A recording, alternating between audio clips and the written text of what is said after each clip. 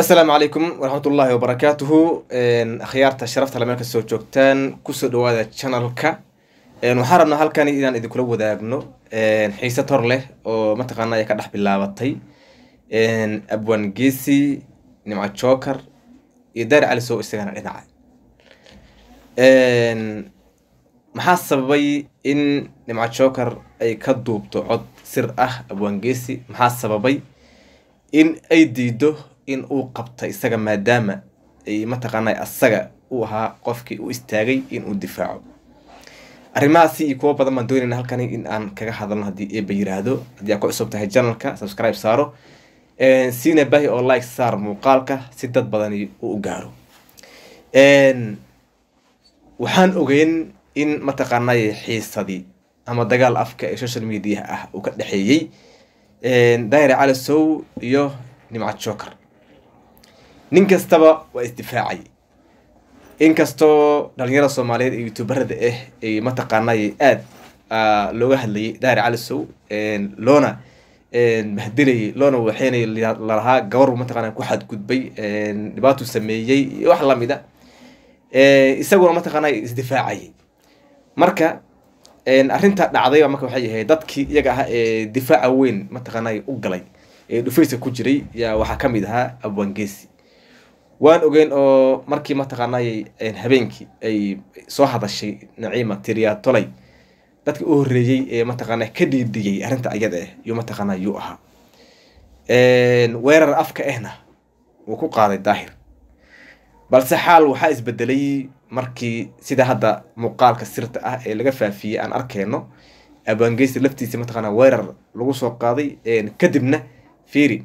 Markii weerarka lagu soo qaaday yuu qaab walaaltinimo iyo baakiga ah yuu u wacday ilmaha gabadhi. U weydiiyey in mataqaana xaaladda maanta ay adag tahay janalkiisina uu halis ku jiro uuna doonayo in uu mataqaana la heshiiyo daahir. Haddii daahir wax mataqaana saas u weynna ma sii dhexaynin oo haddii wuxuu ahaa dagaal afka social mediaha ma mataqaana ayaa dhex maray. Marka bal xaaladdu marka waxay isbedesho la garan waaye. Markii codkii labadoodii keliya ay ku wada hadlayeen la keenay baraha bulshada. Yaa keenay marka?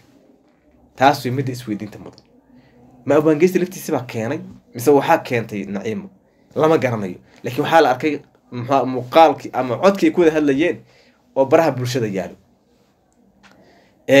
abwaangeysi waa hadlay isaga iyo daahir way wada hadleen raaligelin buu ka bixiyey arrinta iyada ahayd raaligelintii markii uu ka bixiyey daahirna waa ka aqbalay oo wuxuu yiri niyow nin dhalinyaraa tahay hor u soco oo shaqayso waana kaa qaba. Loo kala bax meesha iyada ah marka dib buu mar kale haddana muuqaal iyo u soo duway abwaangesi oo uu ku faahfaahiyey ama kaga hadlay waxa arrimahan iyaga ah waxay ku saleysnaayeen. Oo uu sheegay in isagu in isagu uu mataqaanay garab istaagay gabadhaasi oo uu yihi anigu walaashay weeye muuqaalkana mataqaana iyadaa iga sii daysay? Mana doonayo in mataqaana anigu aan ku daydo inaan ka ficnaado yaan doonayaa. Waxaa kaloo uu sheegay an walaashay waxaan ka codsaday in aan qabsado. Oo ula jeedo haddii xumaan laga sameeyey in aan mataqaana intaan la hadlo daahir aan la garamo oon dhaha walaalo waad ku khaldantay walaashay. Ee mataqaana gabadhan mataqana iska raaligeli iyo wixii la mid ah. Maadaama hadda iyaga ay saaxiibo noqdeen wada hadleen oo dad wax wada qaybsan kara yihiin inuu saas oola xiriiro laakiin wuxuu yiri arrinta iyada ahayd igama aysan yeelin garab boodi buu dhahay. Oo iyaduna inay waxay soo dhacsatay rabto sideedaba markii rag wada hadlayo waxaa fiican in arrinta ragga loo daayo. Haddii aan loo daynayna marka horeba in aan la soo gelin. Markii ragga ay wada garamayaan dumarka ma soo geli jirin. Waa dhaqankeena soomaaliyeed oo dumarka gooni ka ahaan jirin. Oo wixii lagu soo go'aamiyey qaadan jirin laakiin in dumarkiina mataqaana iyaguna ay dhankooda ka socdaan raggan dhankooda ka socdaan arrin fiican mataqaana ma ahayn marka arrintan daahir iyo udhexaysa naciimo. Waa arrin sii murgeyso wejiyo farabadan bay mataqana sii yeelanaysaa. Waxaan arkayay ninkii ahaa kabtan ayuub isagana mataqaanay iyo daahir oo iyagana saa iskugu tuuray gantaalada. Gantaalada isku tuurayeyna waxay ahayd in shalay la arkay baraha bulshada muuqaal kabtan ayuub laga faafinay saas oo kale oo la leeyahay mataqaanay wuxuu sameeyey cawriso banaanka taalla iyo wax la mid ee mataqana la faafinayay. Waan arkaynay. Oo weliba meelo fara badan mataqaana la soo geliyey daahirna laftiis uu ka hadlay. Isagana maanta intuu soo hadlay uu mataqaanaa isna uu kabaha la dulmaray mataqaanaa daahir. Marka arrimahaasi oo dhan markii xaqada laga hadlo ma fiicno wax wanaagsanna ma aha.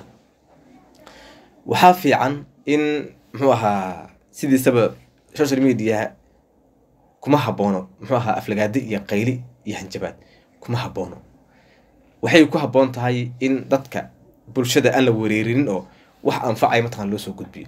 Markii maanta heble iyo heblahaas dagaala hadda fiiri tusaalaan ku soo siinaya bishan gudaheed meeqaa xiisad oo ku saabsan baraha bulshada yaa mataqana soo martay. Kow waxaana soo martay xiisadii udhexaysay safiya tusmo iyo cajuun way wareegtay oo markiiba haddana mataqaana waxaa noo soo baxay bosbas iyo muuno oo isqabay in iyagan dhibaato kala dhacday.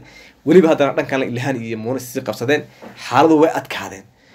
Iyadoo murugti tii ay socota haddana waxaa markiiba soo galay daahir iyo sharma boy daahir iyo sharma boy haddana mataqana xaaladooda socotay haddana daahir iyo joker iyo xagga u booday marka waxaad arkaysaa marka xaalado murugsan oo muxuaha social media oo dadkii daawadayaasha ahaa la jaha wareerinayo in mataqaana ay jiraan dadku markii aada la sheekaysto runtii xaqiiqatan way kula yaabayaan ay kuleeyihiin baryahan baraha bulshada maxaa ka khaldan?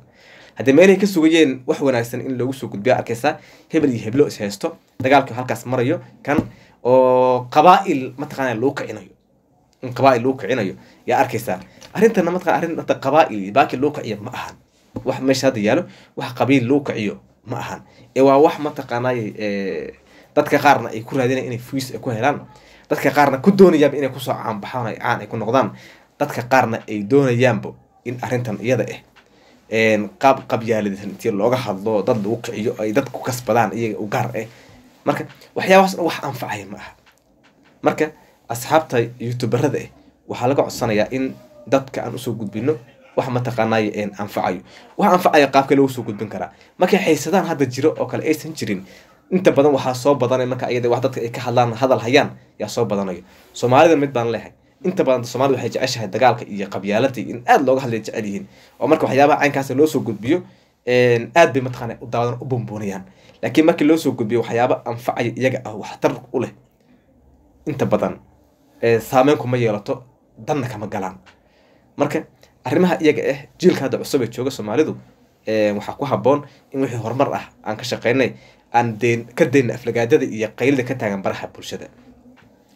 Marka intaasaan ku soo koobayaa arrintan iyada insha allah asxaabta sharafta leh ee ku xiran janalka waa in janalka aad subscribe aad saarataan rukumataan dadkana aad u sii sheer intaan barnaamijkan midkaxi ku kulmayno haddii eeba idmo waxaa idinkaga tegayaa sidaas iyo nabadiino